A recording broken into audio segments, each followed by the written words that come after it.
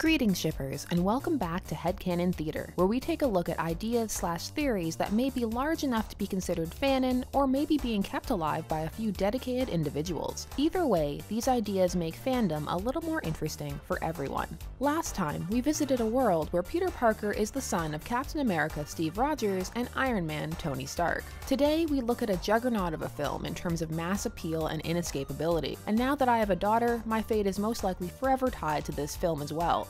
I'm talking about Frozen, and oh, how I wish I could let it go. Now, whether or not one liked, disliked, or was ambivalent about the film is not the focus of this episode. Instead, we're going to zoom in on a headcanon concerning the film's villain, Hans. Much has been made of Hans's face heel turn, and the lack of foreshadowing surrounding it, not to mention the alternate ways the same message could have been conveyed without having him abruptly go full Jafar. As a result, much fiction has been dedicated to expanding his character or exploring nuances some felt were touched upon but not fully explored in the film. Hans has been paired quite liberally within the fandom with both Elsa and Anna, and it is in regards to Elsa that this particular headcanon developed, that being that Hans has fire powers, making him essentially Elsa's opposite, and laying the foundation for either some form of understanding between them or an even grander villain battle than what was given on screen. This theory circulated on Reddit, home of many a fantastic and out there theory. Seriously, it's a good time there. Sometimes, when it's not a scary time just like Tumblr. So why fire powers? Well, aside from fire traditionally being depicted as the opposite of ice,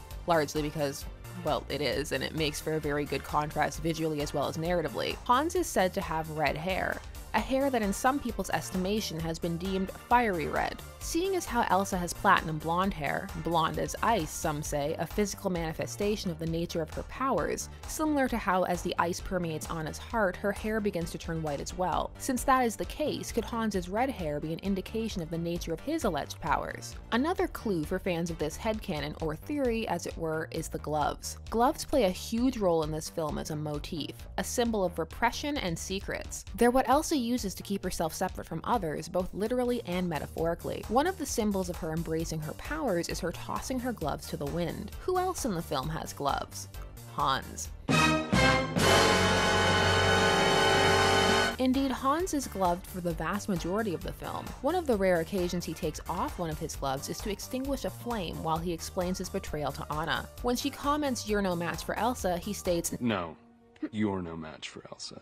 Replacing his glove. That, coupled with his plan to vanquish her and return Summer, has led some to believe he wields fire powers, and has practiced the same kind of emotional distancing that was forced upon Elsa, although obviously with a much more twisted outcome. Some also feel since he tells Elsa not to be the monster they think you are, he has some experience with people thinking he was a monster himself. Now, some of you may be sitting there thinking, come on, this is a bit of a reach. Well, maybe. However, it seems to largely stem from the lack of development given to Hans within the narrative itself. The sole evidence for his betrayal is that he has many brothers and is the last of them, meaning he is likely to never inherit anything of value, and he briefly glanced at the castle during his and Anna's duet. Aside from that, up till his sudden betrayal, he's shown to be a decent guy. He helps run the kingdom quite well, supports the people, and even stops Elsa from being killed. So for many, his sudden face heel turn was a bit hard to swallow, and attempts were made to beef up his his character, or at least make it more interesting. As much has been made of the decline of the caliber of Disney villains of late. If there are perceived gaps within a narrative, people will often rush to fill them, while others may not see a gap at all and accept the given narrative on its own terms. And both approaches are absolutely fine. The exploration of characters with powers similar to Elsa's within the narrative is not unique to just Hans. Some attribute fire powers to Elsa's sister Anna. However, Hans as a fire-wielding, misunderstood, and misguided prince has definitely gained traction in fandom even finding its way into fics, not only about the film, but from that awkwardly handled Once Upon a Time tie-in that